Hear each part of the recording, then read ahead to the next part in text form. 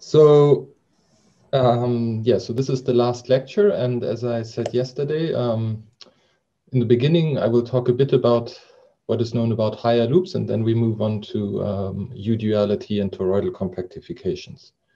So in order to talk about what is happening for higher loop uh, string perturbation theory, I recall that yesterday um, we looked at the first instance, which was uh, the one loop in closed string theory, closed superstring theory, so the torus. And this was the first time that we actually had to deal with the um, fact that there are uh, different Riemann surfaces and there's a non-trivial moduli space of Riemann surfaces. So this was this outer integral over the fundamental domain and tau was labeling the inequivalent tori.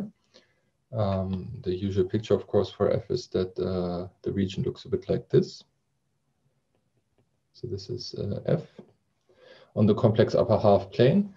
And um, this is the first time that we have to do this integral over the different Riemann surfaces.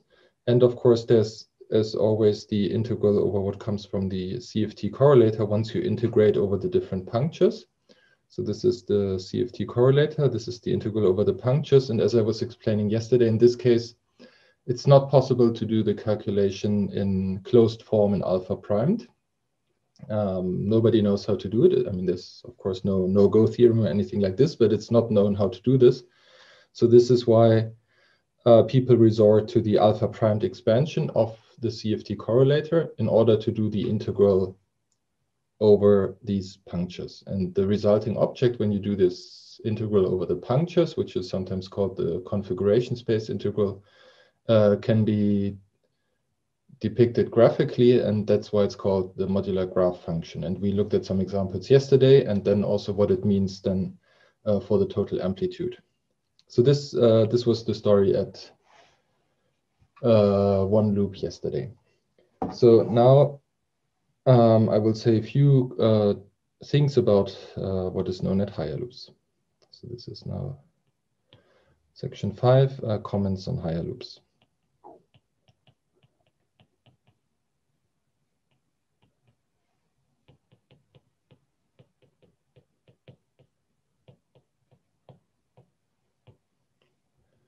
And uh, the basic structure of everything is, uh, of course, unchanged. That's what we also uh, discussed in the very beginning. There will be a moduli space over the Riemann surfaces, and eventually there will be issues with that uh, related to, um, I mean, the non-splitness of moduli space and so on. And then there will be this uh, CFT configuration space integral as well. So the case that is um, best studied because uh, things are becoming complicated very rapidly is of course the next one, which is uh, genus 2, where for the closed string, uh, you have to look at genus 2 surfaces with punctures. And uh, there's uh, a lot of uh, work, in particular, a large, a big series of papers by Eric D'Hoker and Phong and uh, so what are the, the new features when you go to two loops now? So again, you have to look at what is the conformal killing group, what is the mapping class group, and so on. And uh, as I indicated yesterday or hinted at yesterday, there is no um, uh, conformal killing group for genus h bigger than 1. So this means that uh, on the torus, we still had translation invariance to fix some of the punctures. When you go to higher genus, you don't have anything like that at your disposal. So that means you have to, um, the green function also uh, will now depend on um, different punctures separately. So this is not uh, translation invariance. So it just depends on the position of uh, the two punctures and it's not uh, z i minus zj because this is something that is not a well-defined concept on this higher genus Riemann surface. And this is this would be the green function that you have to work out. Um, people uh, have different representations of this, and the one that is most useful or has turned out to be most useful recently is uh, what is known as the Arakelov uh, green function, which is just a particular way of representing uh, this particular object here. And you will notice that I uh, put also a parameter omega in the definition of the green function, which is now um, the generalization of what was tau. So that this is the modulus of the Riemann surface.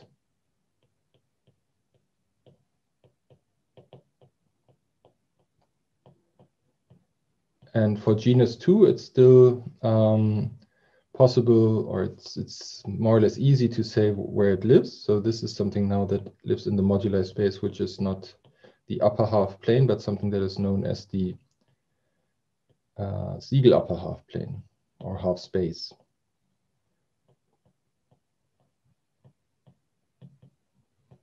which is a generalization of this uh, Poincare upper half plane, which you can think of as the coset SL2R divided by U1. And for genus 2, it's also a nice coset space, uh, which is the Siegel upper half space SP4 uh, divided by U2. And there's also um, a mapping class group now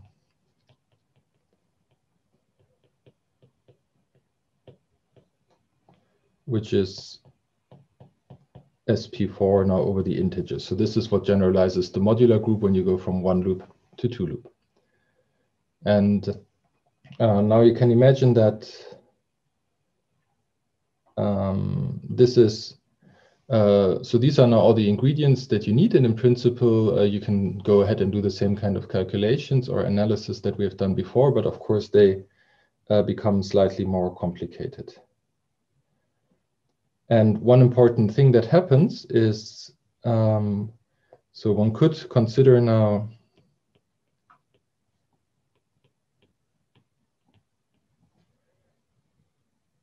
a similar type of uh, genus 2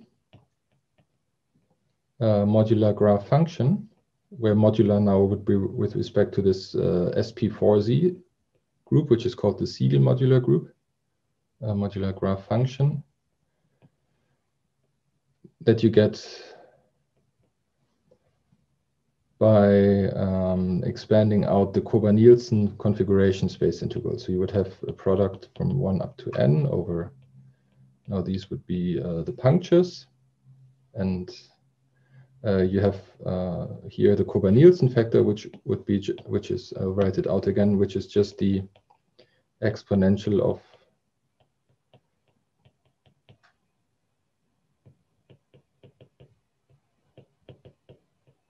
the Green's function connecting the punctures with the Mandelstam variables. So if you if you take this and you expand it out, um, this integral, you would generate some genus 2 invariant uh, functions which are invariant under SP4Z. But uh, and these are interesting functions to study, study mathematically. But for instance, if you uh, look at the four graviton amplitude, this is actually not the right integral to do. So and for genus one, this was still true. But if you do the CFT analysis, uh, you will realize or you find out that this is not quite the right integral to do. So for uh, for graviton,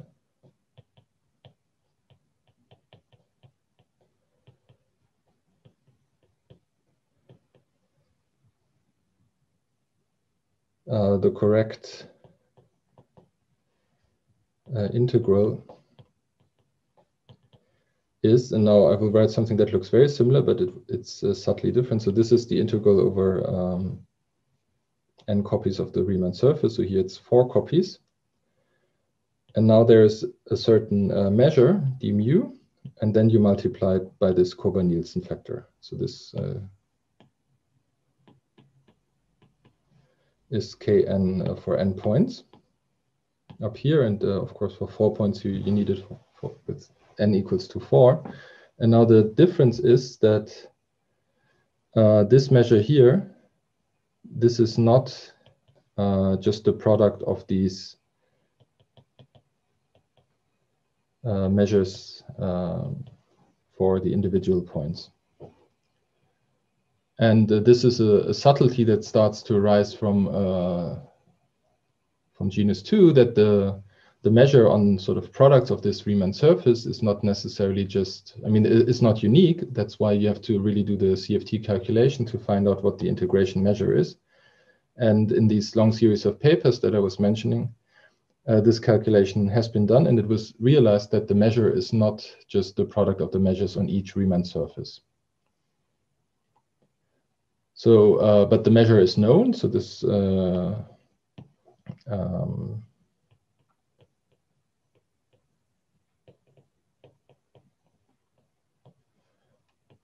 is, uh, as I said in these papers. And uh, once you know the measure, then you can do the expansion, the alpha primed expansion, because uh, again, the integral is not known how to do in, in closed form, but you can do the alpha primed expansion of the integral.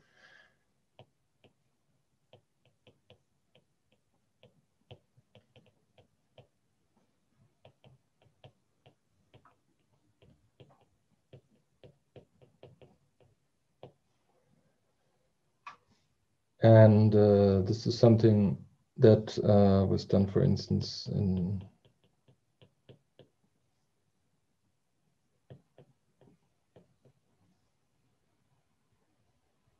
uh, in this paper.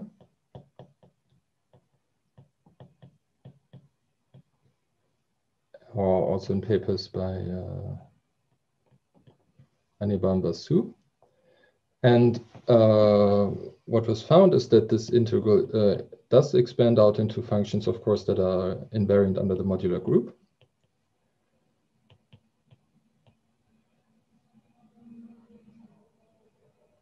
And uh, so this is again the symmetric combination of the Mandelstam variables. And then there's a one more term, uh, which is written like so and uh, this expansion goes on. So these are uh, the different orders in alpha prime. These are the symmetric polynomials in the Mandelstam invariants. This is just a constant as a function of the Riemann surface modulus omega. So if you integrate this over the uh, uh, moduli space, so you integrate this over omega, you just get the volume of moduli space, but this integral already is non-trivial to do over moduli space, the second one. And this function that came up here, uh, this was uh, a nice interplay or connection between string theory and mathematics. So this function here that came, came out of this expansion is known as the uh, Kawazumi-Zhang invariant.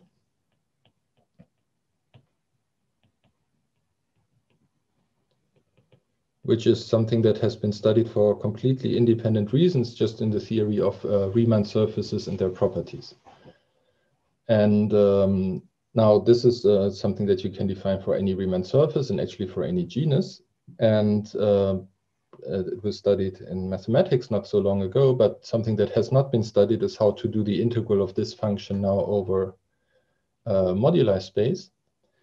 And uh, this is something that was uh, found out in this uh, paper by D'Hoker, Green, Pioline, and Russo. Namely, what they used is the fact that uh, this uh, invariant satisfies a differential equation, which I'm not going to write. It's, it's not complicated, but it's not uh, useful, very important now, the details of that. So because it satisfies a differential equation and you want to integrate uh, phi over the moduli space, you can uh, use this differential equation and integration by parts to actually do the integral. Uh, and this allows to do the integral over omega. So I'm not giving you the details of the measure and the differential equation. I'm just telling you, uh, you get the explicit amplitude complete, uh, contribution from that. And this is uh, something that was only done a few years ago, which uh, shows you how difficult these uh, things can become very quickly. So as soon as you go to to non-trivial orders in alpha primed and uh, higher loop orders, I mean, these uh, computations, they actually become quite uh, tricky, but of course, more and more methods are being developed. So um, what was seemed impossible to do a few years ago now becomes more possible.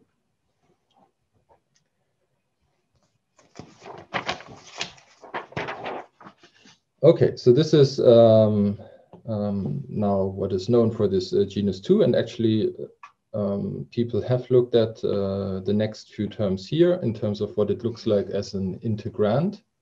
So what, what function of omega you get, and these are now called string invariants, and there are new invariants for Riemann surfaces uh, that had not been considered in mathematics. So again, this is a very nice interplay. But uh, I mean, the, the, string theory interest is, of course, uh, in understanding then also the integral, and this is something that has not progressed too far. And in order to give you an idea of what, how far this has progressed, now I will uh, just summarize uh, the current status. So what is known.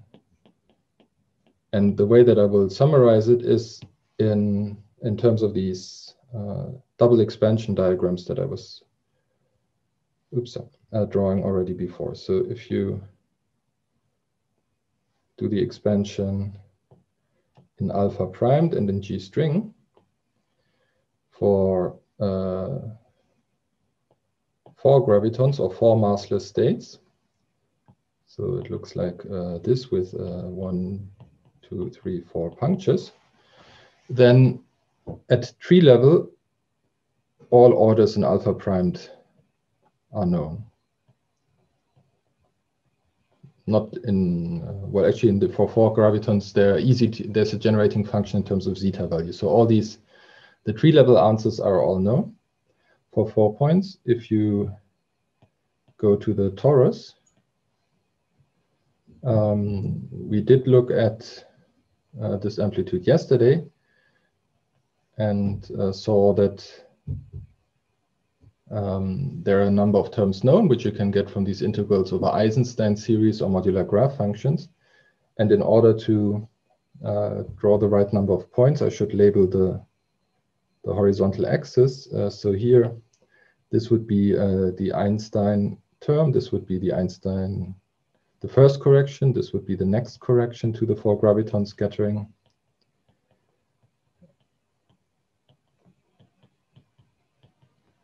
Uh, d12 r to the 4 and d14 r to the 4. And um, uh, let me also mention, so the you might wonder, so here uh, there are certain terms that seem to be skipped. So for instance, you go directly from r to r to the 4, which is quite a number of uh, orders in alpha primed. And the reason that there is nothing in between here is related to uh, this being a calculation in a, in a theory with maximal supersymmetry. So the maximal supersymmetry does not allow any term in between r and r to the 4. And it also disallows the term which is d squared r to the 4. So that's why there's another jump here. And then after that, uh, you get at every order in alpha prime, there is a candidate. And sometimes there are even multiple candidates. Um, so uh, here, so let's see. So this goes up to uh, these calculations have been done up to D12, but here uh, the next one is, for instance, something that is not known how to, uh, what value it is. And the, uh, also here from the explicit calculation we saw yesterday, the first term that came out of the um, one loop amplitude was actually at order r to the four. So it was uh, something uh, in the, the power where it appears is something you can see from which Mandelstam variables you get in the alpha primed expansion. And uh, the one loop amplitude that we expanded yesterday didn't have any term at the order below r to the fourth. So now let me say the same, oops. Uh, uh, so this is meant to be a two loop surface. And uh, here, uh, the knowledge st stops much earlier. And in particular, um, so these are the first two terms which actually are absent. So let me scroll back a, a tiny bit. So here you see uh, when I was expanding the amplitude, the first non-trivial term is uh, involved sigma 2, and then there was one more, sigma 3.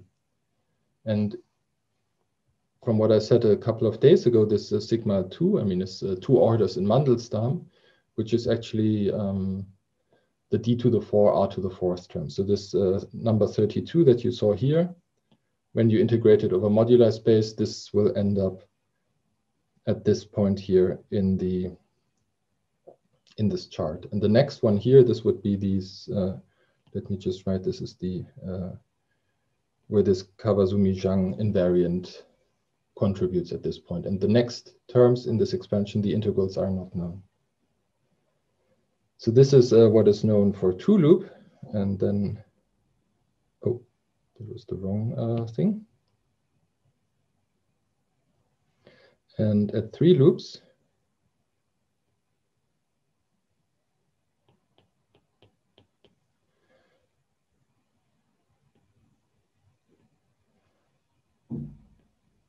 uh, it looks the same. But the difference is that here, uh, I mean, the higher you go in loop order, the later you start contributing. So the first few terms here are zero. And there's only one term that has been uh, computed, uh, computed at, uh, at three loop order, which is in some sense the volume of moduli space term. So it's the lowest order term in the alpha primed expansion of the amplitude.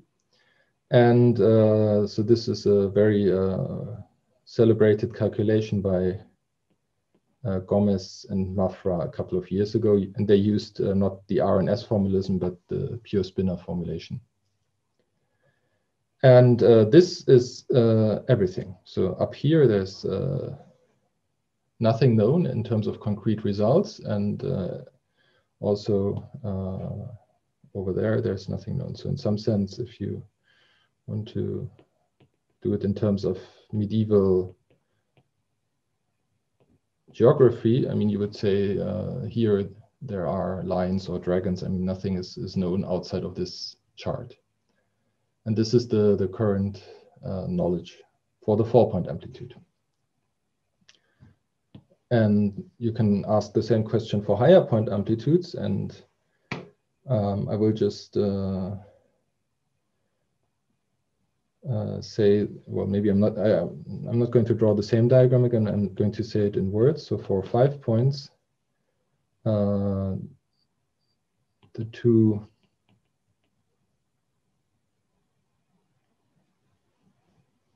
uh, lowest orders at uh, genus 2 are known, and the three lowest orders at genus 1. And of course, at tree level, implicitly everything is known in terms of these multi-zeta values. So uh, uh, everything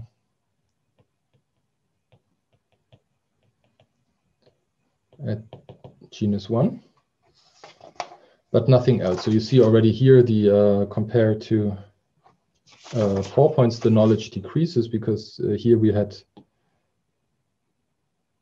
um, at one loop, we had quite a number of non-trivial terms. And here there are only three non-trivial terms at uh, five point.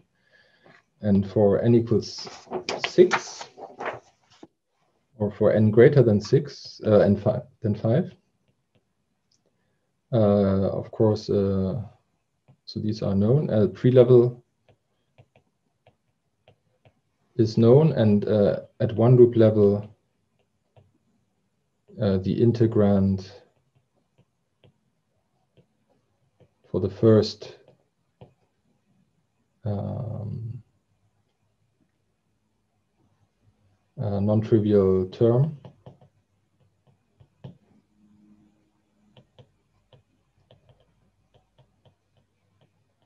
is known, but only the integrand, so not the integral.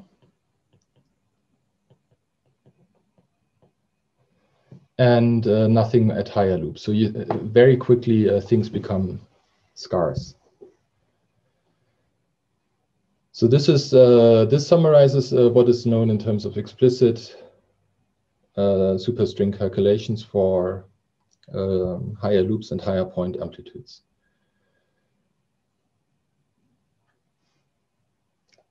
Okay, and uh, but I mean there is interest in uh, getting some more data because as we will see in the next um, uh, when I talk about these uh, dualities, uh, sometimes actually these uh, points here were predicted using dualities before they were computed.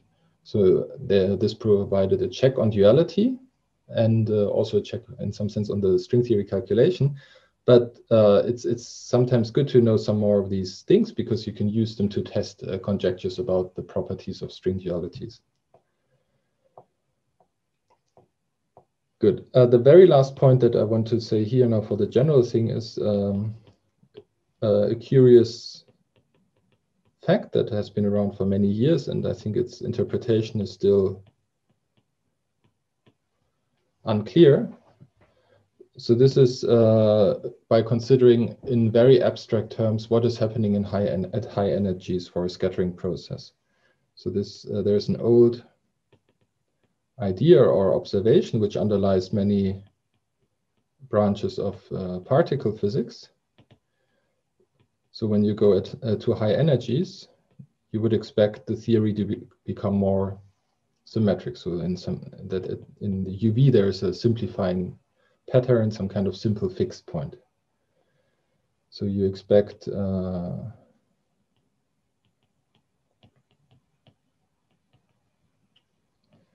uh, simplifications.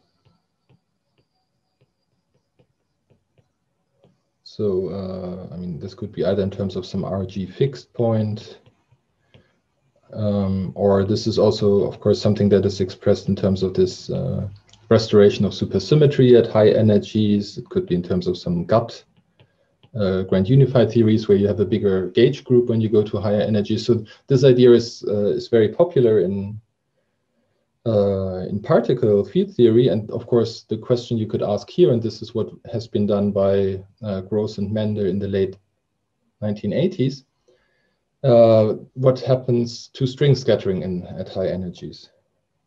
So is there any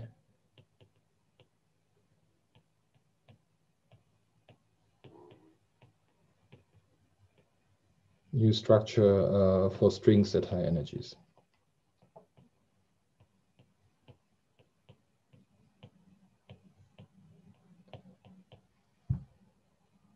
And uh, so this, uh, uh, what does it mean to go to high energies for strings? This means that we send alpha prime to infinity. So this is the exact opposite of the limit that we were that I was drawing in the diagrams above, which was sort of the alpha prime small uh, being small expansion. Now this high energy limit is the alpha prime going to infinity limit. And um,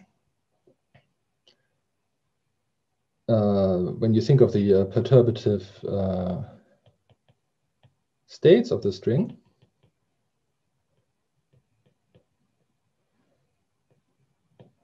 they are proportional to 1 over alpha primed. Right, so there's uh, there's this integer graded spectrum of the excited states of the string, and they're measured in units of 1 over alpha primed. So uh, the perturbative masses all go to zero in this limit. So you would expect uh, an infinity of massless states, and this infinity of massless states um, typically massless states have uh, more symmetries than massive states, so that you have additional gauge symmetries and things like that. So you would think that maybe this theory of all these massless states could have more structure than the string itself. And of course, uh, one idea that has been pursued in this direction is uh, whether all these massless states with their additional gauge symmetries, whether they are related to higher spin uh, gauge theories. And there's uh, quite some work on uh, trying to, I mean, work on higher spin gauge theories independently, but also work trying to relate these, this independent work on higher spin gauge theories to the alpha prime going to infinity limit of the string. So this is um, uh, sort of the, the idea that one can consider. Clearly, it's the opposite limit to the low energy limit. And now, when you uh, think back to the Polyakov action that we used to generate uh, the amplitude and all the correlation functions and so on, they, it had a prefactor which is just 1 over alpha primed in front. So if you send alpha prime to infinity and you consider doing the path integral, what you have to do is you have to do stationary phase approximations uh, using this uh, Polyakov action. And this is uh, what uh, was done and uh, to see what is sort of the structure that you would expect in this limit. Now, um, what was the result of these uh, works? So as I say, this is due to Gross and Mende uh, in the late 80s. I think there are several papers. not sure whether they're all from 1988. So uh, what they found is that there are two uh, observations you can do. So one is that at H loop order, uh, the you find that the H loop amplitude in this limit for large uh, energy, so let me just write large S, so large Mandelstam variables.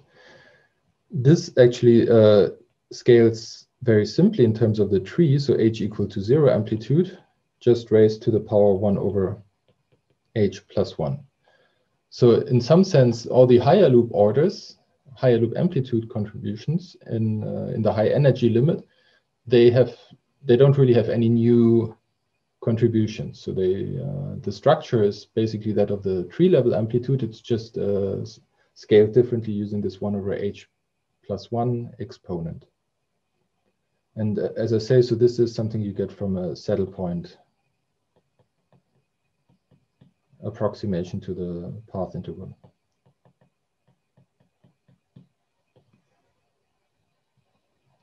And uh, maybe there's one comment here. So this is uh, something that was uh, realized afterwards. So if you look at the saddle point approximation and you look at the equations that you get, uh, the equations are something that have uh, resurfaced afterwards in a different context.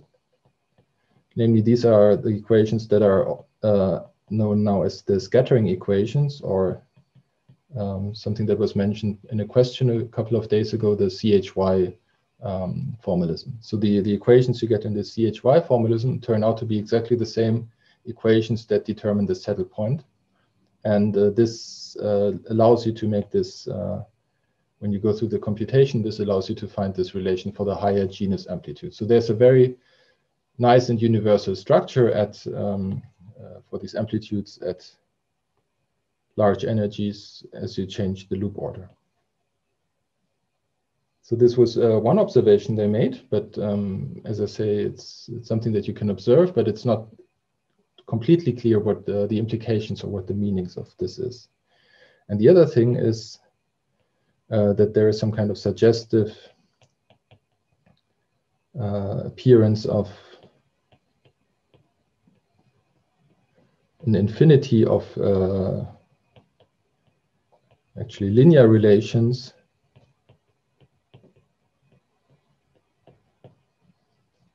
among uh, different amplitudes. So this means that, uh, let's say the, uh, um, depending on the polarizations or on, on the structure of the uh, things that you scatter, uh, there are many relations that you wouldn't expect. So also between different uh, point amplitudes or different types of particles. And this, this thing is just something that was observed again and it seems to resonate with the idea that there is some kind of enhanced symmetry when you go to high energies. But um, I mean, some instances of these relations were written down uh, by David Gross, but uh, nobody, as far as I know, has been able to turn this into something that um, tells you what is this uh, additional symmetry that you have, and in particular to connect it to the higher spin symmetry. But uh, I'm just uh, mentioning these things because sometimes there are these uh, somewhat mysterious observations that seem to to hint at something, and um, it's it's good to keep them in the back of your mind. So I just wanted to to include this as well. So uh, well, it was a bit more than 15 minutes that I took for finishing this higher loop thing, but uh, now I would like to go on to the U duality, but uh, maybe there are questions about what I just uh, said before I move on.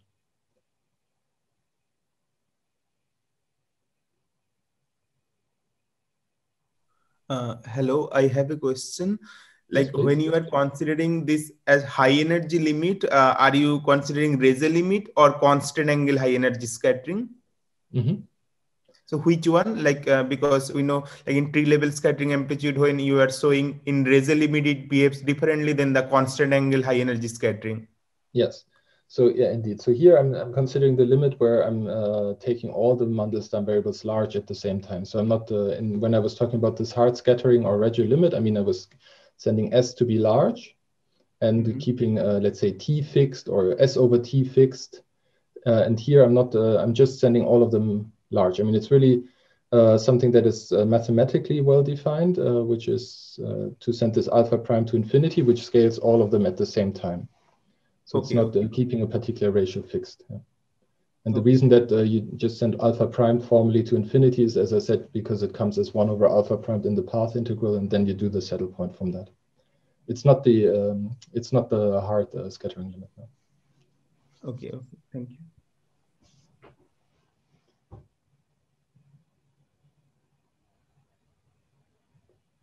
Okay.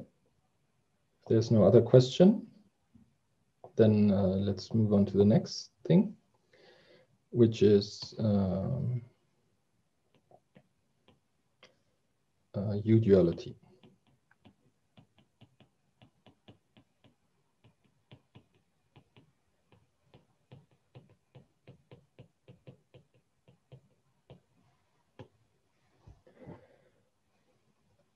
So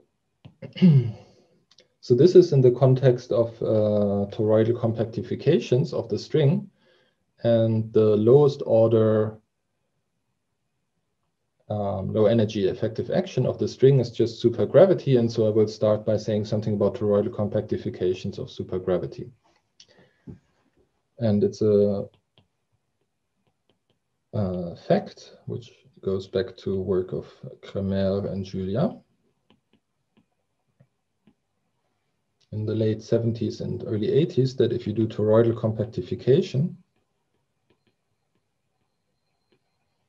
oops, um,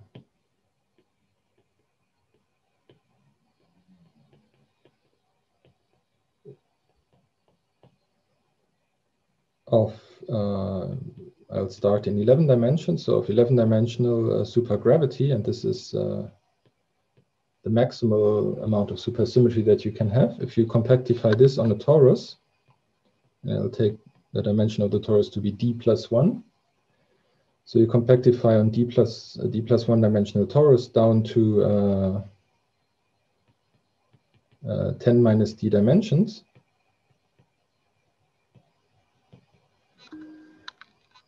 This uh, leads to a theory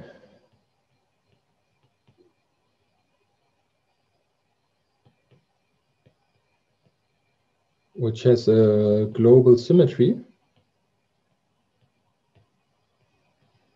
Uh, and it's a continuous symmetry, so let me also emphasize that.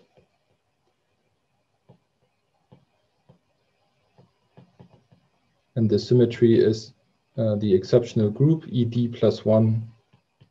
And I'll put in an R to emphasize that it's continuous, so it's over the real numbers. It's a real Lie group, uh, for the right values of D. It's actually an exceptional Lie group in uh, the other values of D. You can define it as well, um, th but this is not important for us now.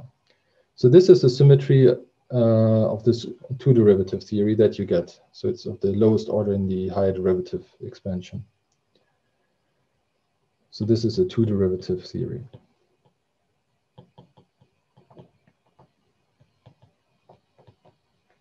So this is just uh, at the level of supergravity. And uh, of course, we're talking about string theory here.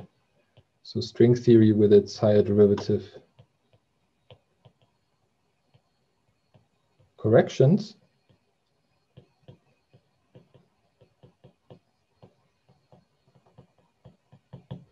breaks this continuous symmetry.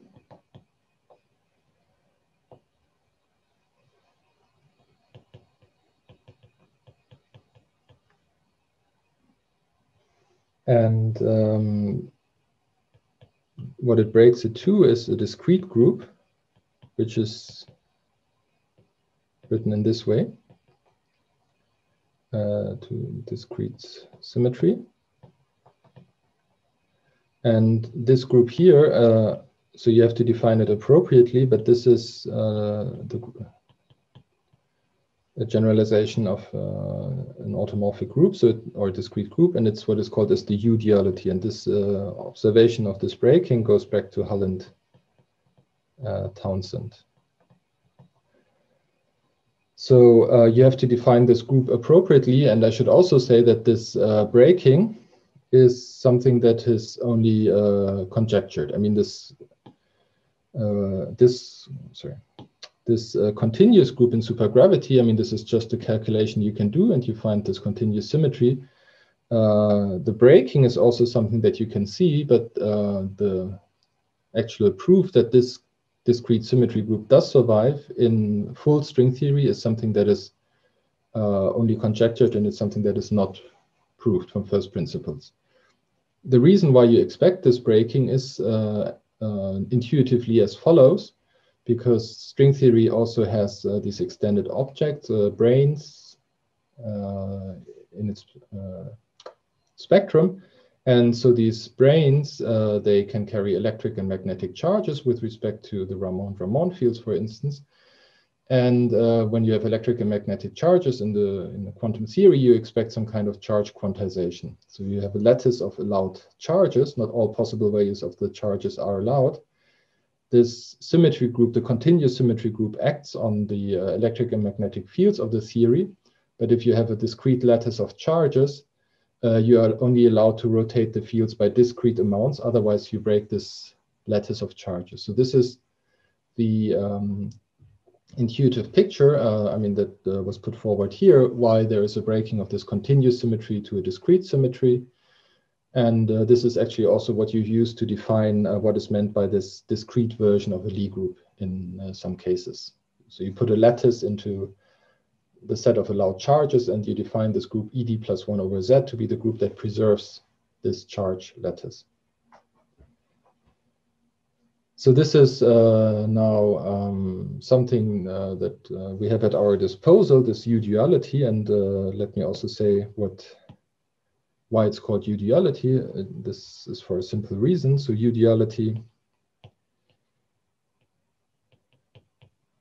uh, you can think of as being constructed out of two other symmetries, namely T-duality, which you have when you do a toroidal compactification, where you send uh, radii to one over radii and transformations like this.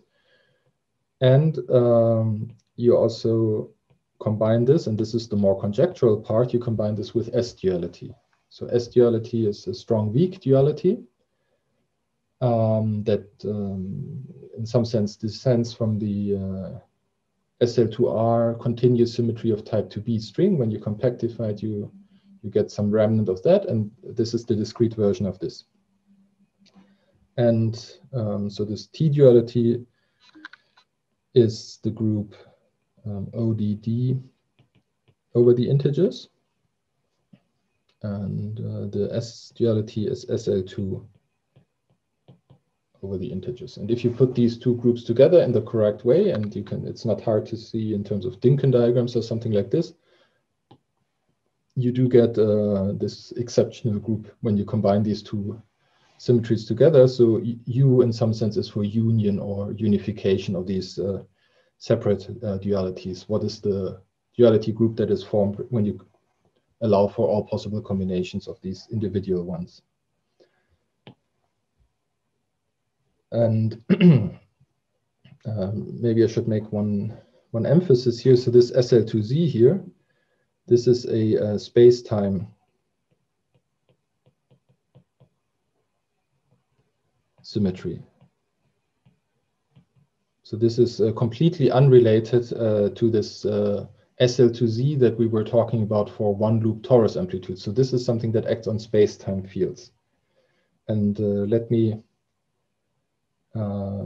explain this or show this in a bit more detail. So uh, this is for type 2B.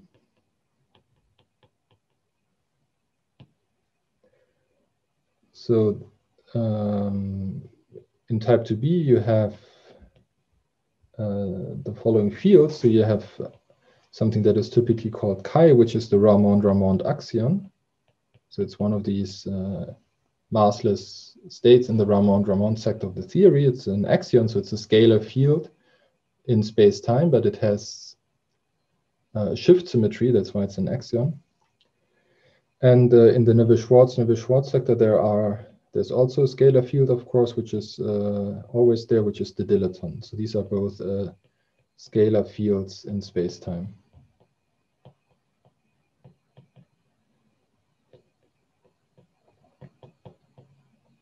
And this is uh, already in 10 dimensions. So the 10 dimensional type 2B theory does have these, uh, these different uh, scalar fields.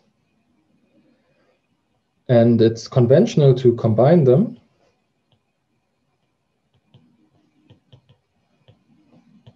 into what is known as the axiodilaton. And uh, there are different uh, conventions for the letter for it. I'll use this one here, where you put uh, the Ramond-Ramond into the real part and the Neveu-Schwarz, Neveu-Schwarz scalar, the dilaton into the imaginary part. And um, uh, yeah, so this is just uh, something uh, that you can define. And this is now living on the uh, upper half plane that we were seeing before. So this, uh, since here you have an exponential, the imaginary part is always positive. So this is a, a complex number which lives on the upper half plane. And this SL2 symmetry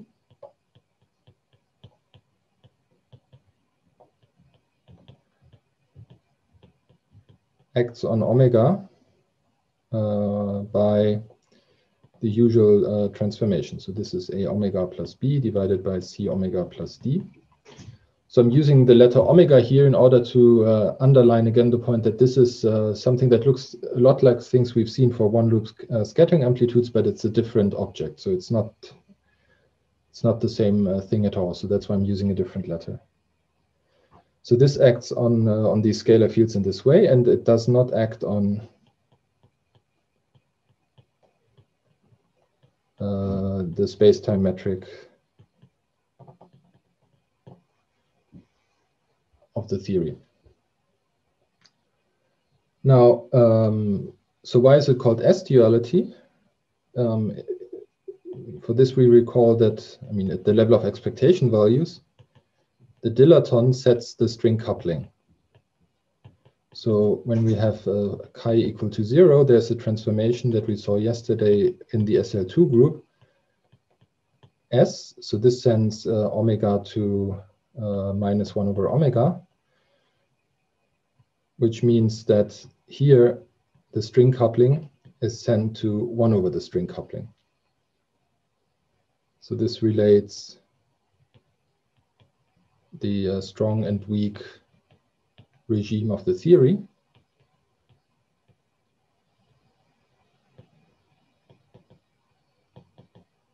And uh, that's why it's called S-duality, because it's a strong weak duality.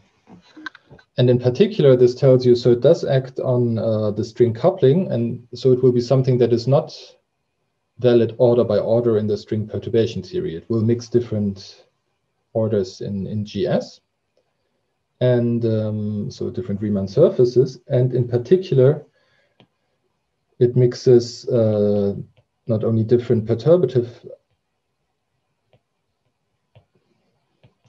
contributions among themselves, but it also mixes perturbative and non-perturbative effects. So this is in this kind of double plot that I was uh, making all the time. It's something that acts in the horizontal, sorry, in the vertical direction. And for this, there is an important um, observation or argument, which is due to Ashok Sen.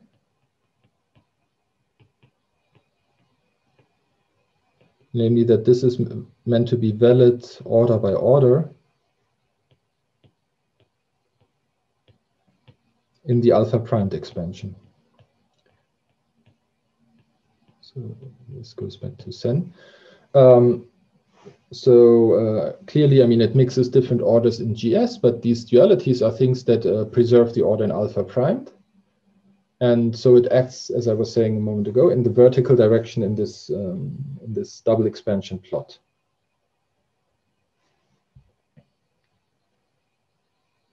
And what this means is, uh, if you think about the low energy effective action,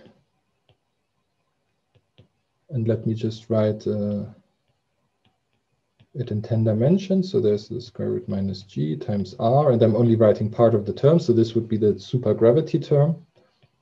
Uh, then there is the first correction, which comes from string theory, which is r to the fourth.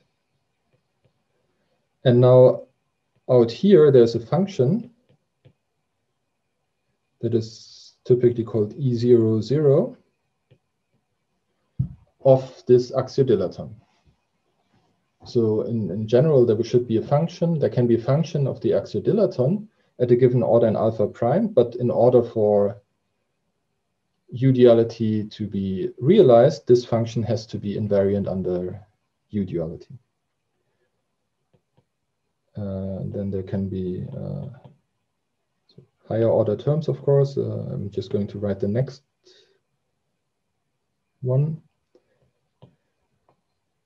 So this function here goes by the name E10 of omega, and this multiplies the next higher derivative correction, d4r to the 4, and so on. And of course, there, there are many terms in this effective action with their own functions. Let me just say this notation 0, 0. This is related to the fact that it's multiplying a symmetric polynomial sigma 2 to the 0, sigma 3 to the 0, and this one is multiplying sigma 2 to the 1, sigma 3 to the 1. So you can guess uh, what the numbering or labeling scheme is. So this is, uh, in some sense, just a very general way of writing this low energy effective action. And these functions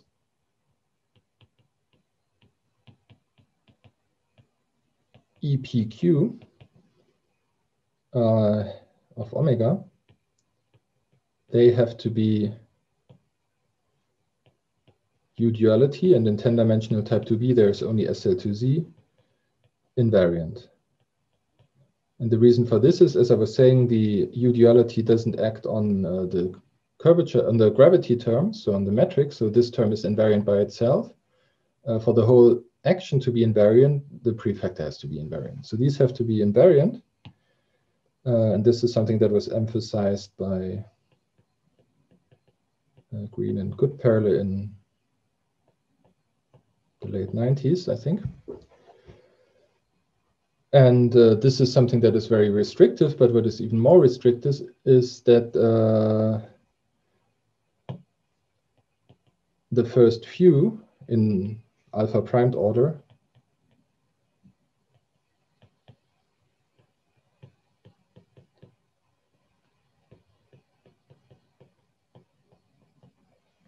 they have to satisfy differential equations.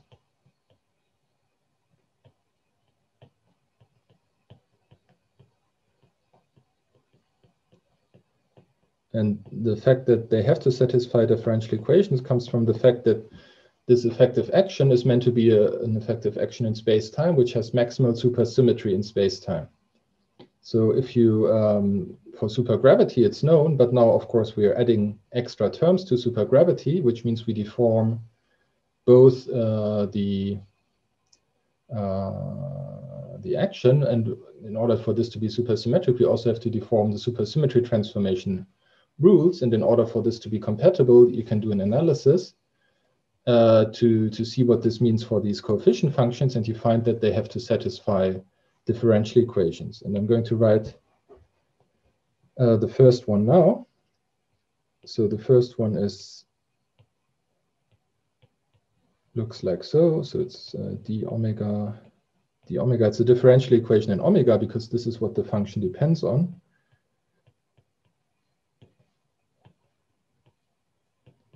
E00 of omega this has to vanish. So this is uh, something that was derived uh, by Green and Sethi around the same time. Now this is um, now a lot of constraints on these on this function uh, e00. So it has to satisfy this equation. Moreover, it has to be SL2z invariant. And um, the final constraint that you impose is that it, uh, when you omega, as I said, contains the string coupling. So when you do the recoupling expansion of this function, you uh, recover the tree level and uh, in particular, you recover the tree level result of string theory. So if you also demand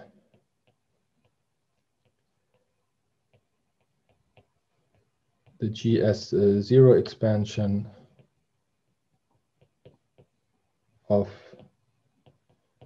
this function to match uh, string tree level scattering.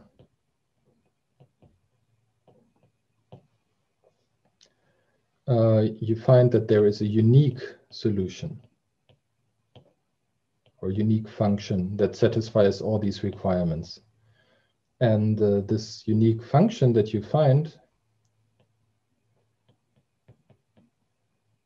as a function of omega is uh, up to some coefficient that I'm not writing, given by one of these Eisenstein series that we saw yesterday when we talked about one loop uh, scattering amplitude. So it's, it's the same type of function because we're still in the world of modular invariant functions. But I want to emphasize again, it's uh, uh, now not something that depends on the torus modulus or something like this. It's really the space-time parameter omega, the axiodilaton. And there's a, uh, and this is uh, quite striking. So now what have we achieved?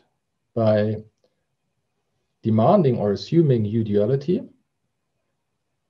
maximal supersymmetry and this match with um, string tree level scattering amplitudes, we found that there is a unique function at the lowest order in alpha prime, so at the r to the fourth order, that uh, describes all scattering amplitudes for this uh, r to the four counter term or correction term.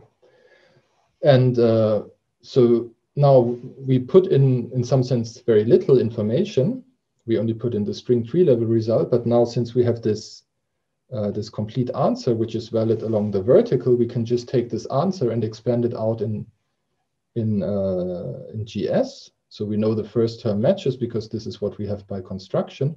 But we can just take now the GS expansion of this function and see what are the predictions from this function for the higher genus amplitudes. So uh, let me write down uh, this as follows. So this determines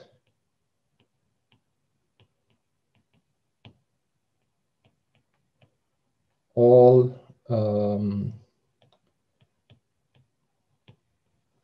for graviton amplitudes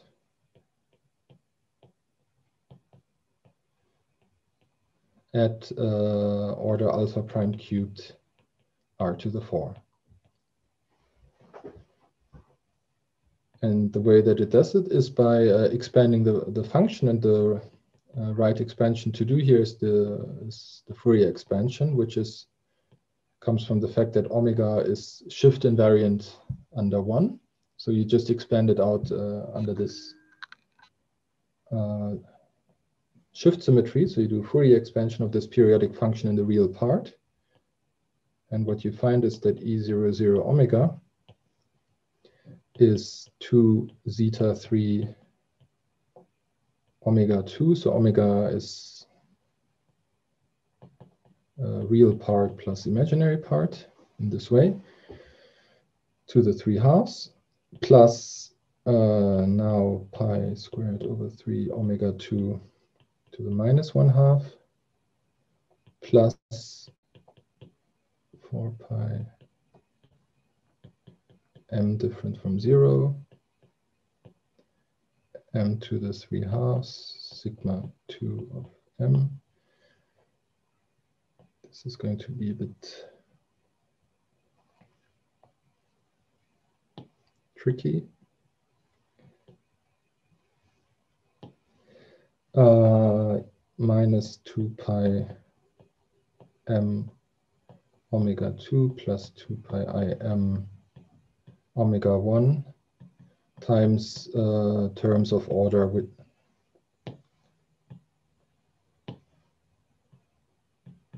one over omega 2. Okay, so let's, uh, this is uh, the result of this Fourier expansion and let's interpret it. So first, so this is uh, clearly the Fourier mode of expanding in the real part. And uh, so the uh, terms here and the sum, these are all the non-zero Fourier modes, which means that the first things that I've written are the zero Fourier modes. They don't depend on omega 1, which um, in terms of uh, the physical fields uh, so they don't depend on the Ramond-Ramond axion. They have no charge with respect to the Ramond-Ramond axion. They are pure powers of GS.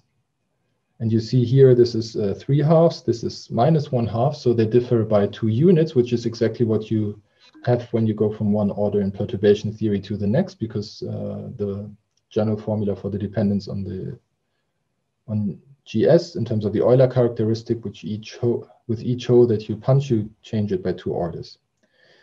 So uh, this means that the interpretation of these two terms, they should be as perturbative terms in the um, G-string expansion. And um, this is uh,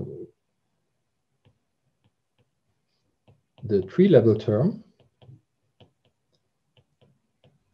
And you might be uh, surprised that the tree level term doesn't have a G string to the minus two or something like this, but that, that it has this weird power of G string, G string to the minus three halves.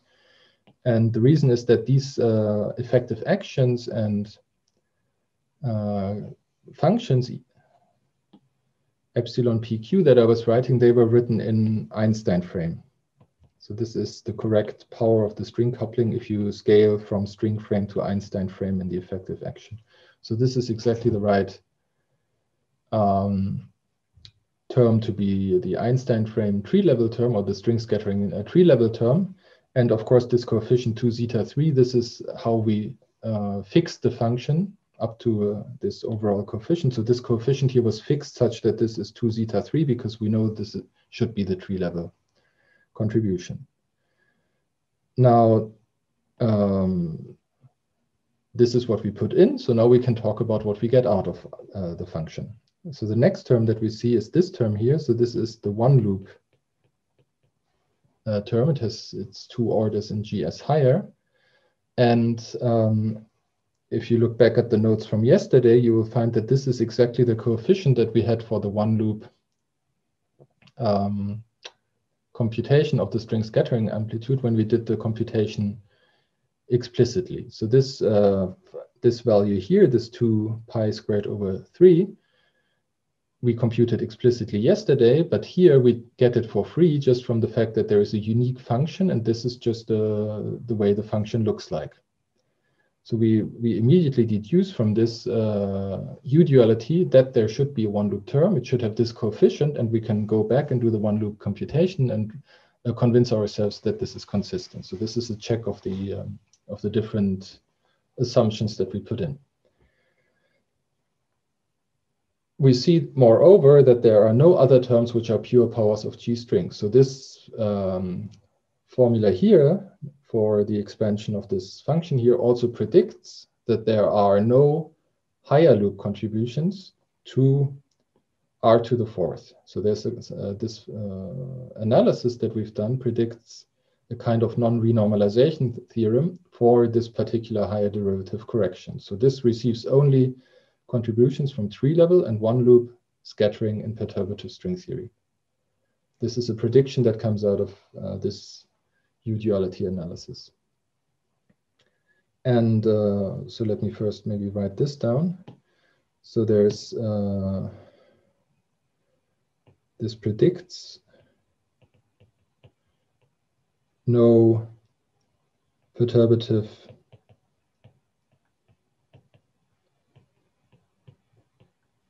contributions beyond one loop to r to the fourth. So this is uh, a prediction of this analysis, and this uh, prediction was actually uh, very soon afterwards checked. So the, there's a non-renormalization theorem.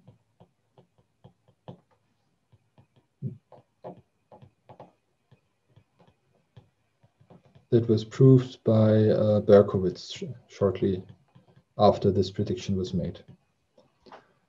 So this is this is quite striking. I mean, we didn't put uh, that much in in some sense. Of course, uh, you can say U duality is a big assumption and so on, but uh, this takes us a long way, and uh, it takes us a long way in the right direction because there are independent checks of uh, everything that I've said so far. So one independent check was that we actually computed this; it worked, and uh, also the fact that there are no other perturbative contributions is also something that was verified. So now the question is, um, what do we do with these terms here? So um, these are the non-zero Fourier modes.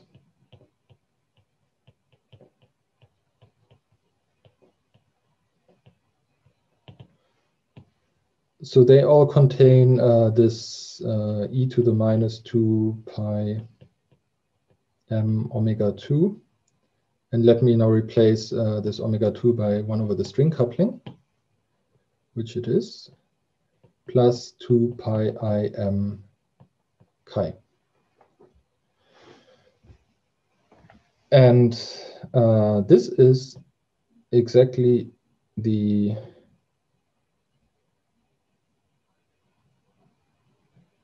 um, well, I write it slightly differently. So this is the action of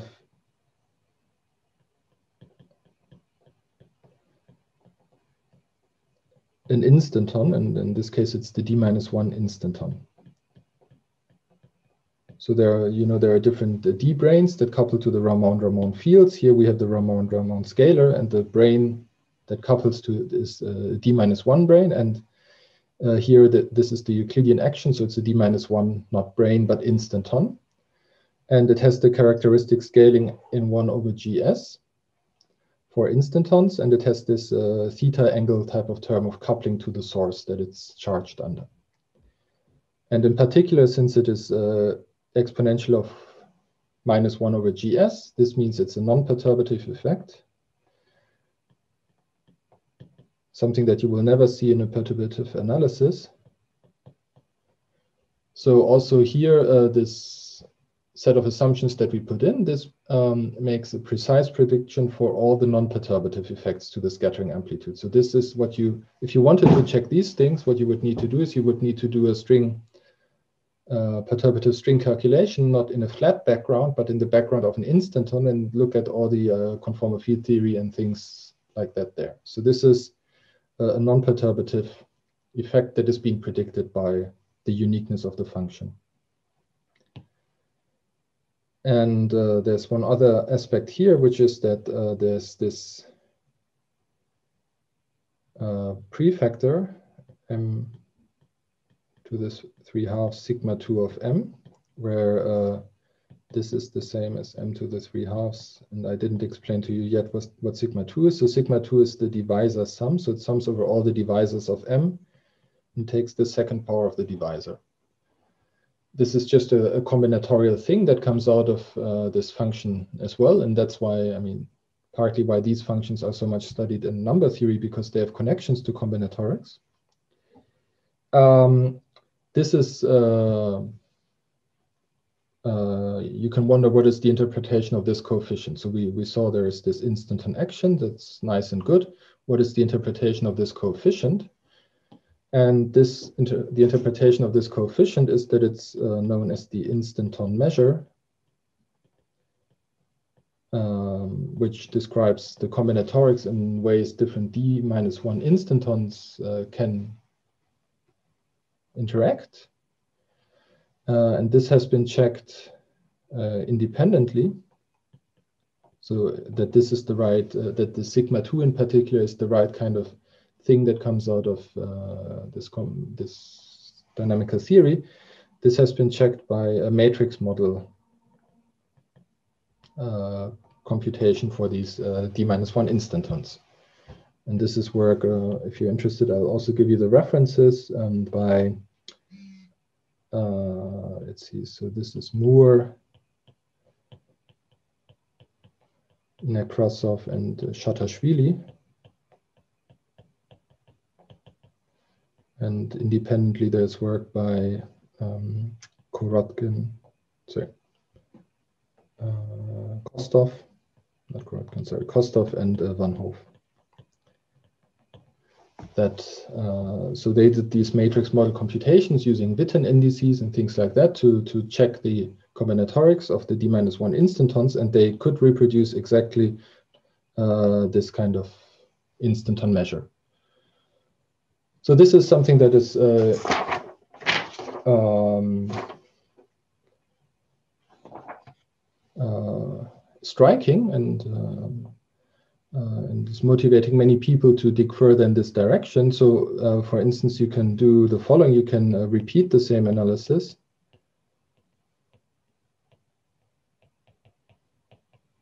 And this is something that has been done for the next two functions.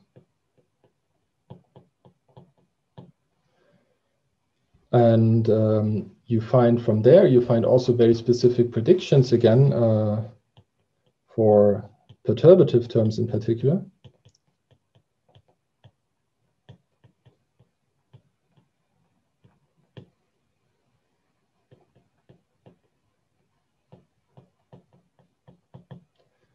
And um, so you find these uh, predictions for perturbative uh, contributions, and those were subsequently checked by explicit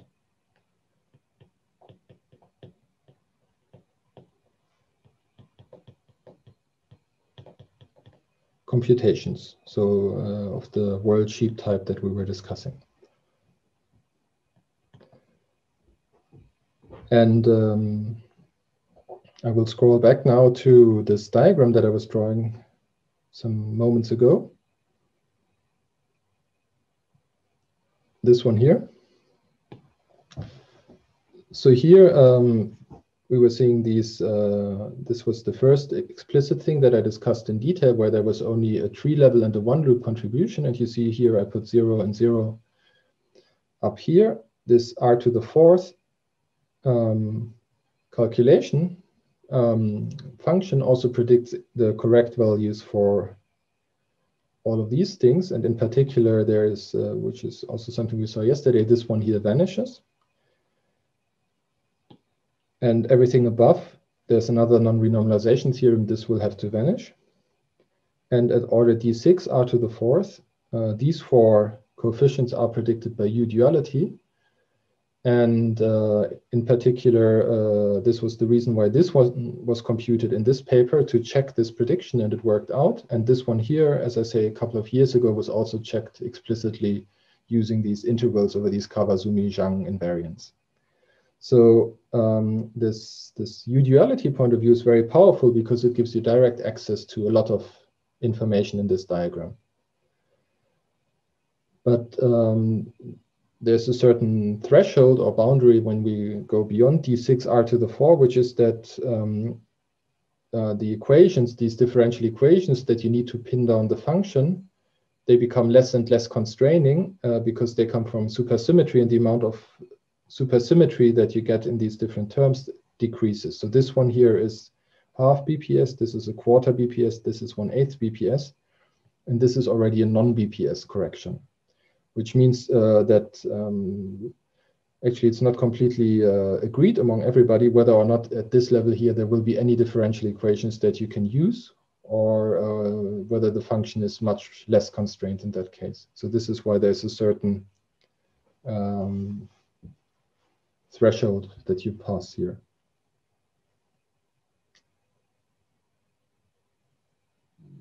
Very good. Um, so Let's scroll back to the end.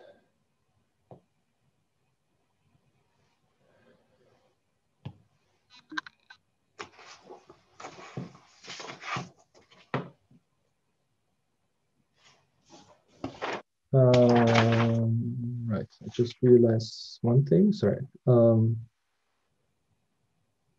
the numbering is got screwed up, so this is six.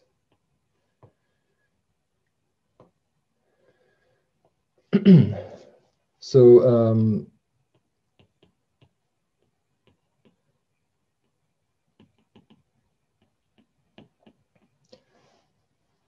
so if you uh, take the string on a d-dimensional torus which is the same as taking M theory on a D plus one dimensional torus, you get, as I was saying, uh, expect this ED plus one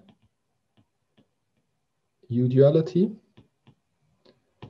And uh, there has been a lot of activity, in particular in the last five or 10 years, maybe to uh, repeat uh, this analysis of uh, differential equations, um, of uh, Fourier expansions,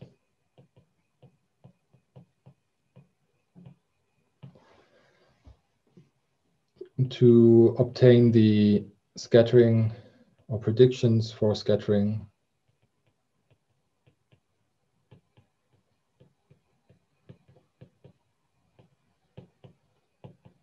in compactified string theory. And um, the mathematics that you end up with is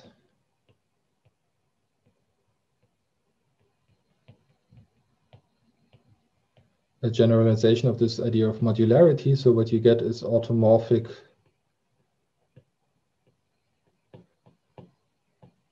forms and uh, automorphic representations.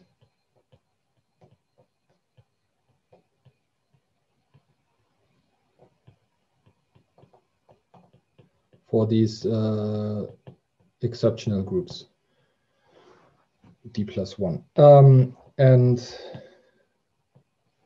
uh, this is uh, something that uh, where there's also an active interplay between mathematics and physics at the moment because physics uh,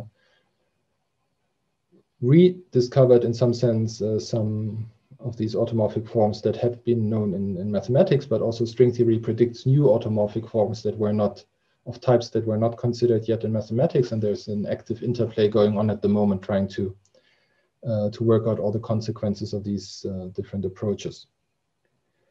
So uh, I will not go through the details of this. I will just uh, give you a few uh, references. So there's uh, one uh, paper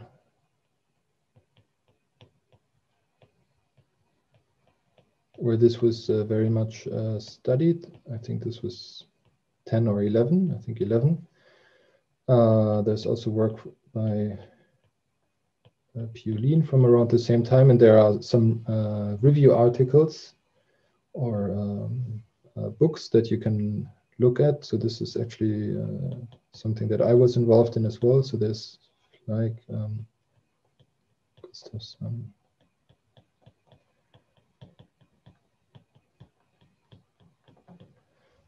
uh, you can find a version of this uh, short version on the arXiv.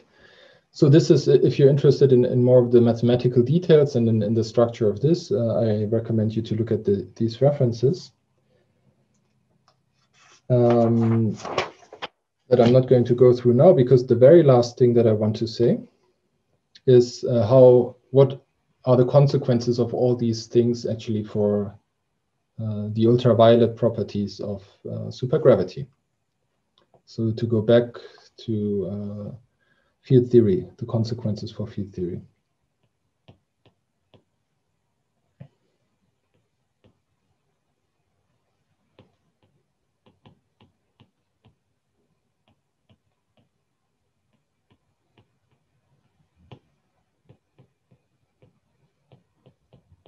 From uh, from string theory.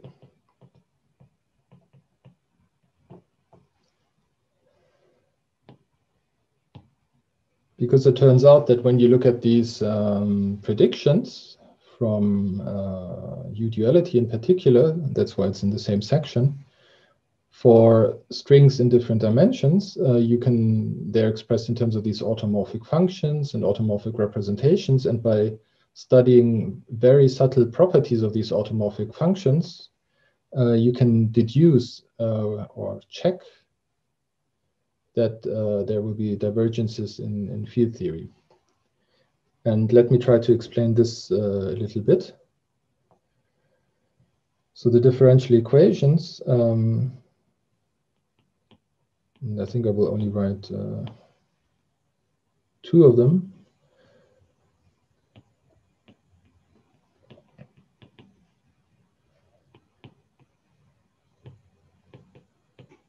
For these EPQ, when you're on a, a d-dimensional torus,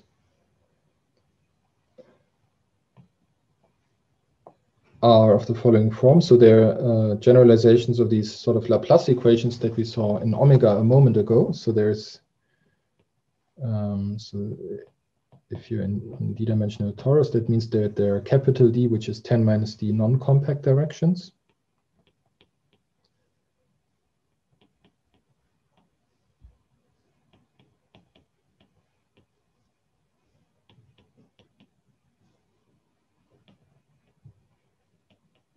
So this is for the first function.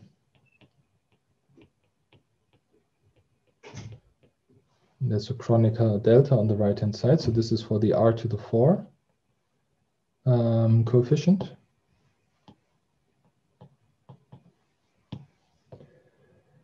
Uh, then I'm not going to write the next one. I'm going to write this one, 6. Well, actually, no, let me write all of them because they have different nice physics. So it's 12 minus d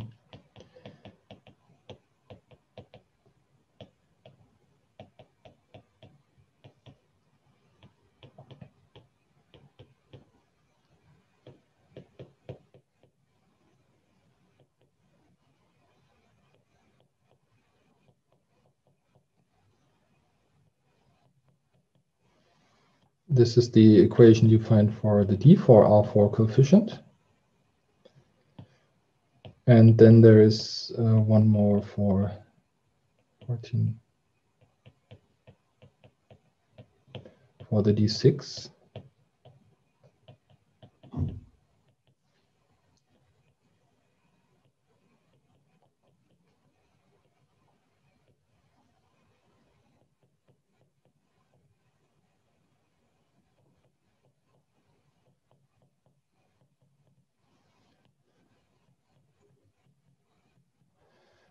So these are generalizations of these uh, Laplace equations that uh, I was writing before. So this is the Laplace operator on uh, the ED plus one uh, symmetric space, which is the moduli space, the U-duality moduli space. Which generalizes the uh, this axiodilaton variable. So this uh, symmetric space is the generalization of the axiodilaton, and then there is a differential operator on this uh, space, which is the one that enters in these differential equations.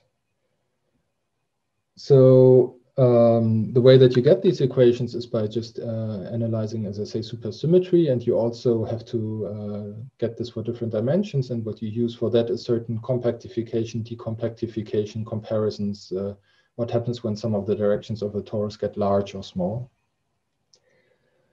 So uh, these are uh, these functions. And now uh, what you want to do is you want to look at the um, weak coupling expansion of the function in the same way that we were doing it before. So uh, now we consider the weak coupling expansion of these functions. EPQ. And uh, there's one important observation that you have to make for this, which is what you call weak coupling or what you call the string coupling changes with dimension. So the, the relation that you get is that there is a, a Planck length in d dimensions, which is what governs gravitational interactions when we're talking about gravitons here, which is determined in the string length. And uh, now this is where the rescaling of the coupling constant happens. So there is, uh, this is the Planck length.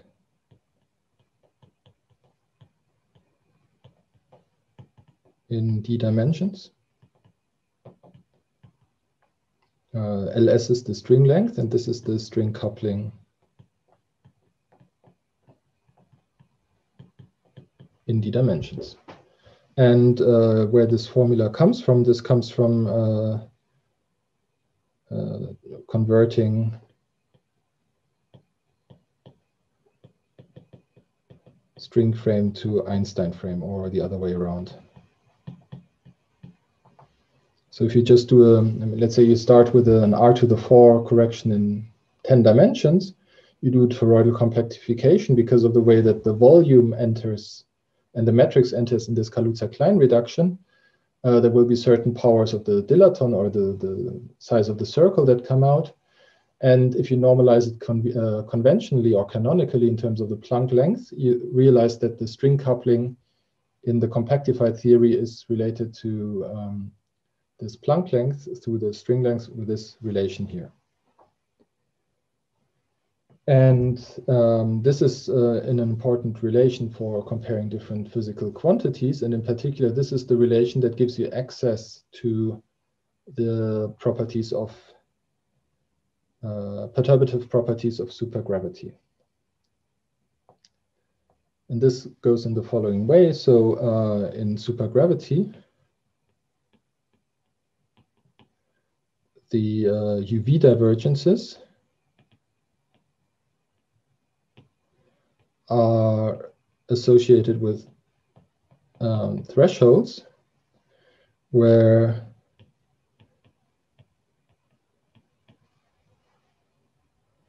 uh, you have um,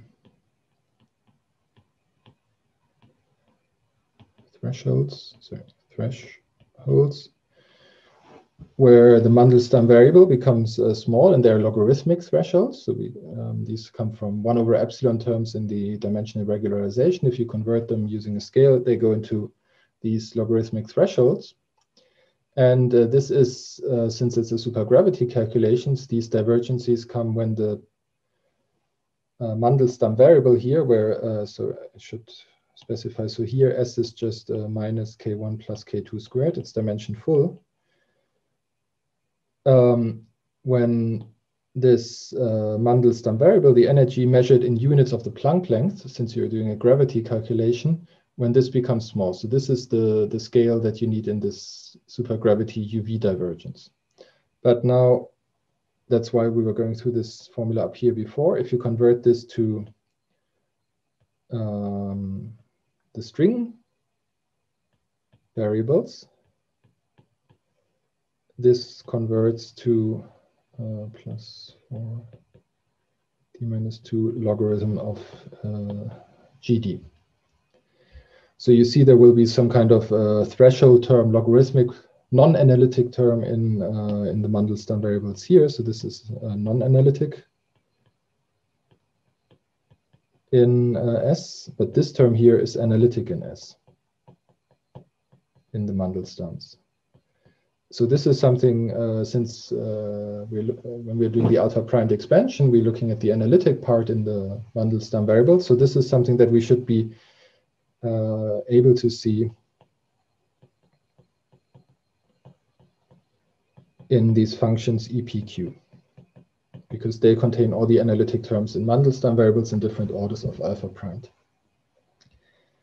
And uh, now using this uh, this formula here, we realize that whenever in EPQ we see one of these logarithmic terms, this actually signals the fact that there is a UV divergence in the corresponding supergravity theory. And uh, now we're almost uh, reaching the punchline, which is that the Laplacian in the differential, differential equations I was writing above this contains uh, derivatives with respect to all the moduli, and in particular with respect to the string coupling, which is, or the dilaton, which is one of the moduli. And it contains a term which looks like so. Uh, and if we now realize that uh, g d squared d by, sorry, d by dgd squared acting on uh, a logarithm. So up here we, we looked at uh, these logarithms being part of these functions. So if the Laplacian acts on the function, we have to act on logarithms. This uh, is an elementary calculation. This gives you a constant. And uh, this constant here is something that doesn't depend anymore on any of the other moduli. So uh, what you deduce from this is that when the Laplace equation for these higher derivative corrections contains constants, uh, this is related to places where you have UV divergences in supergravity. And now I will scroll back to the equations to uh, see where this happens. So here, this is the Laplacian acting on this function. And here, this is a constant term. And this happens uh, when the dimension is equal to 8. So there will be a UV divergence associated with R to the 4 in eight dimensions. And this is something that is known from perturbative gravity calculations. And uh, you can also check the coefficient is the right strength. There's a divergence associated with D4R to the fourth, which will be a two loop divergence um, in uh, seven dimensions. And this term, this is why I was writing it, this is related to form factor divergences in uh, supergravity. So when you have effective new vertices and you have form factor divergences. So all these terms here on the right-hand side, with all their coefficients and so on, they have in the meantime been checked and confirmed to completely agree with the uh, supergravity uh, divergences. So let me just write this and then I'll wrap up. So the supergravity And there can also be a form factor divergences uh, are related to the Kronecker deltas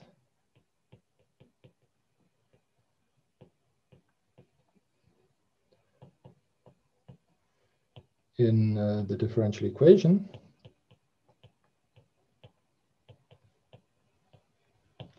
And they have been checked to uh, agree with supergravity. So this uh, logic that I was putting forward here in terms of uh, the conversion between the different scales and the string couplings and these logarithmic terms, this is something that has been uh, now completely checked to agree with these perturbative string calculations. Um, I should say uh, now you might ask the question, and this is the last thing I'm saying, um, can we actually uh, use this kind of logic to predict whether supergravity will be UV finite or where other uh, divergences are? And this, the uh, answer to that question in generality is not known. So this is something that I mentioned before. So uh, the question is, are there equations for the higher PQ, EPQ. I was only talking about the first three all the time. And uh, then in full generality, I would say it's not known what are the predictions for the UV, the, the full UV properties of uh, supergravity if there are these equations or independent of these equations. So yeah, so I wanted to end with this uh, sort of connecting back to some more physics thing after a lot of uh, more mathematical properties. And uh, that's the final thing that I wanted to tell you. Uh, and, I'm happy to take questions. Okay, thank you very much for the excellent lecture. Okay, um, other questions?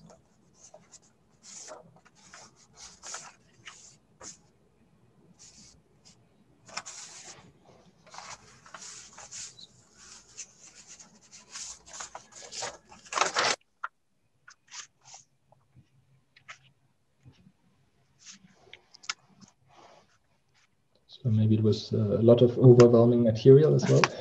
so I have a very technical question. Um, this um, Laplacian delta you, you, you talked about that uh -huh. act on the whole um, scalar manifold in lower dimensional supergravity.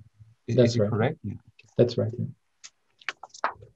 So this, uh, yeah, so this uh, scalar manifold is uh, what I call the uh, symmetric space here. So the scalar manifold is given by the, this global symmetry group ED plus one div divided by its maximal compact subgroup, which is the scalar manifold, and this is where the Laplacian acts. Yeah. So for example, in, um, in four-dimensional supergravity, this would be a 70-dimensional scalar manifold.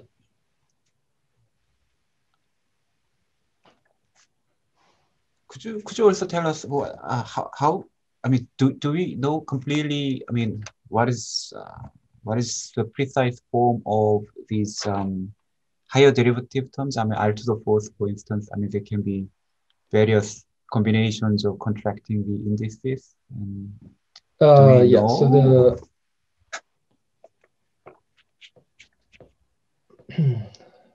So the uh, the precise uh, structure uh, in the beginning, I was writing this uh, thing which was T8 T8 mm-hmm. R to the four in terms of these linearized curvatures, and this okay, is a okay. very precise. Okay. Um, I mean, completely specific combination of mm-hmm. Uh, the graviton and the momentum and derivatives.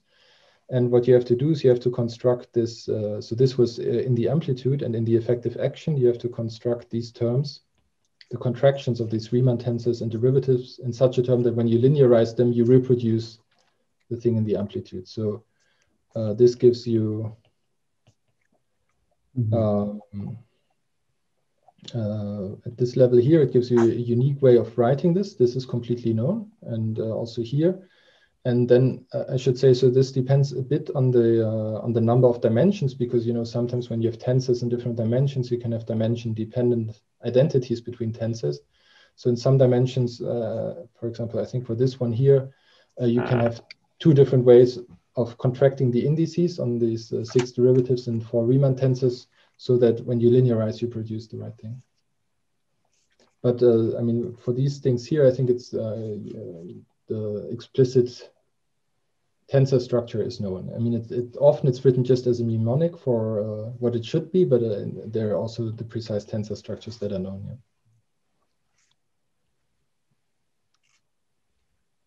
Okay, so and probably this is also another technical question. So you you mentioned the uh, the symmetry group, uh, exceptional uh, group, right? Mm -hmm. But strictly speaking, it is um, a non-compact version, right? So That's could right. you could you tell us which non-compact version of exceptional group? Very good. Uh, so this, yeah, so this ED plus one that I was mentioning, ED plus one of R, uh, this is the uh, split uh, real form, which is uh, to say it's the maximally non-compact real form.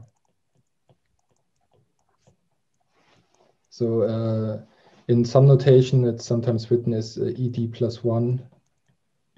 If you know this notation uh, for differentiating real forms, so it's this real form here, e, e, the maximally non-compact one.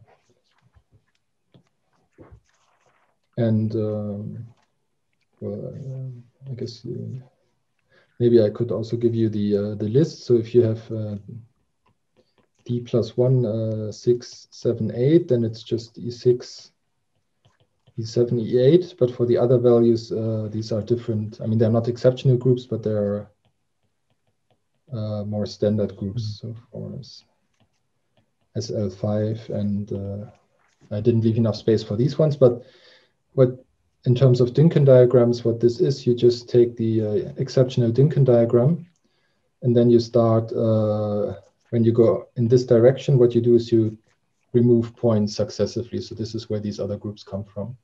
So the next one here, if I remove this point, would be SL2 times um, SL3. So the in if this is 3, this is SL2 times SL3. So these becomes more standard groups when you go to high space-time dimensions. And they are always the maximally uh, non-compact real form and this uh, scalar manifold.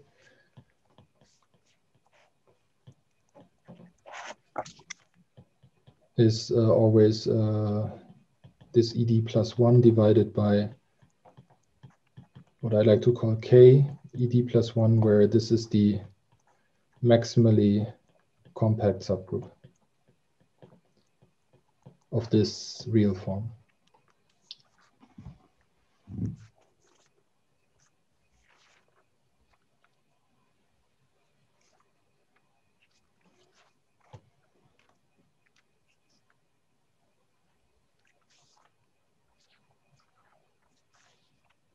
And yeah, so the structure of this uh, scalar manifold becomes uh, uh, more complicated than just upper half plane. So that's also why the Laplacian and so on, they become more and more involved. But there's a general theory that allows you to deal with these uh, automorphic or symmetric functions on these spaces.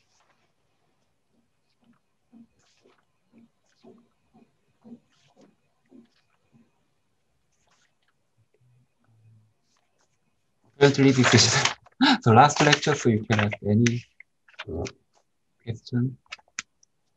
Anyone from the audience?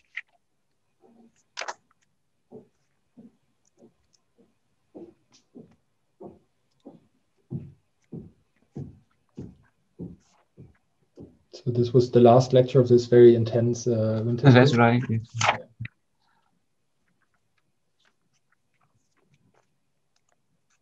Very good. Yeah, I think we are now yeah coming to the end of uh, our uh, big event. Okay, so uh, let's thank uh, Axel again, and, and also uh, all the other uh, lecturers and all the participants. I would like to thank everyone. Okay.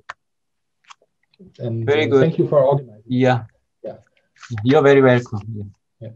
It was very very ex excellent, impressive lecture.